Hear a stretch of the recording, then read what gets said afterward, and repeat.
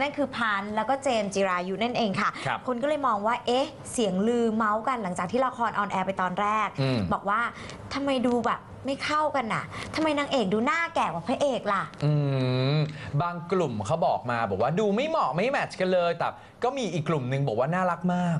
แบบเคมีต้องกันเหมือนกับ chemistry มัน match มากเลย น่าจะเป็นคู่จิ้นได้เลยทีเดียวสำหรับคู่นี้อะเพราะฉะนั้นมี 2 กระแสเกิดค่ะ ขึ้นแต่อย่างที่ด้าบอกก็คือจริง ๆ ในเรื่องเนี่ยคุณพันธ์เขาต้องเล่นเป็นคนที่อายุมากกว่าอายุแล้วมากกว่าเป็นหลงติวเตอร์ หลงเด็กอย่างเงี้ยเหรอเป็นติวเตอร์ให้กับเด็กอะอืมเออก็เลยต้องสุดท้าเป็นก็แบบว่าคนที่อายุตมากแล้วกว่า รู้สึกแบบปรับปรื้ม อะไรอย่างนี้หรือเปล่าอะไรเงี้ย แล้วก็ส่วนที่หน้าแก่กว่าพระเอกแล้วพันธุ์เนี่ยเขาจะว่าไงบ้าง อะลองไปดูเจอเรื่องแบบนี้มาเป็นยังไงกันบ้างครับพันช์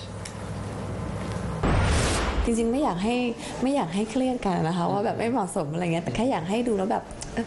ดูเพื่อความเพลิดเพลินดูแบบเพื่อความสนุกสนานให้ฮาแค่นั้นก็พอแล้วค่ะ ส่วนตัวเราไม่ได้ซีเรียสใช่ไหมครับเรื่องของการโจมใช่ตีอะไรไม่ไม่ไม่จริง ๆ แล้ว ถ้าถามว่าซีเรียสกลับไปเครียดไหมเนี่ยไม่ใช่พันอยู่แล้ว พันจะเป็นคนที่ที่มีวิธีคิดอะไรของเราก็แล้วแต่ที่เรารู้สึกว่าเออเรามีเกราะป้องกันที่ดีนะคะว่าไอ้เรื่องพวกนี้มันเป็นมันเป็นมันเป็นได้อะที่แบบว่าใครจะชอบหรือไม่ชอบเราอย่างเงี้ยเราเข้าใจมันเป็นสิทธิของเขาอยู่แล้วใช่ไหมคะก็แค่ทำงานออกมาให้เรารู้สึกว่าเรารู้สึกว่าเราดีที่สุดแล้วเราพอใจที่สุดแล้วก็แค่นี้ก็โอเคละน้องเจมส์เขารู้ถึงกระแสนี้ไหมครับรู้นะรู้ทุกคนค่ะ ในกองถ่ายรวมถึงท่านผู้จัดทุกคนเขาจะรู้หมด แล้วเขาก็เลยยิ่งทำยิ่งต้องทำให้ออกมาแบบ ให้มันแบบว่าดีที่สุดยิ่งกว่าเดิมอีกอะไรอย่างเงี้ยค่ะเพราะฉะนั้นเนี่ยในการเล่นบทของชนมนเนี่ยก็ค่อนข้างที่จะขยี้พอสมควร ก็และอีกอย่างหนึ่งคือในเรื่องเนี่ยมันก็ต้องแบบแก่กว่าด้วยอะไรเงี้ยมันก็เลยไม่ได้แบบรู้สึกอะไรมากมายค่ะถ้าถ้าได้ถ้าได้ดูในโดยรวมของละครเนื้อเรื่องละครมันจะมันจะ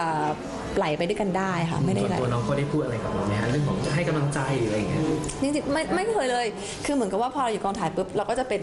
พี่น้องกันเอาพอเราถ่ายละครปุ๊บเราก็จะเป็นตัวชนมนต์ตัวอิทธิฤทธิ์แต่พอเราโอเคคัดเราก็จะเป็นเราแล้วเราเป็นสนุกสนานให้ฮาปาร์ตี้คือ เรื่องพวกนี้มันไม่ได้แบบมามามาซีเรียสมากนะคะเพราะว่ามันก็